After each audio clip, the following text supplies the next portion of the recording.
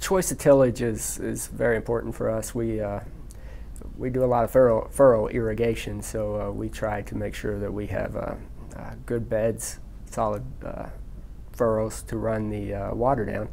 a large impact on that is we've made investments in tracks.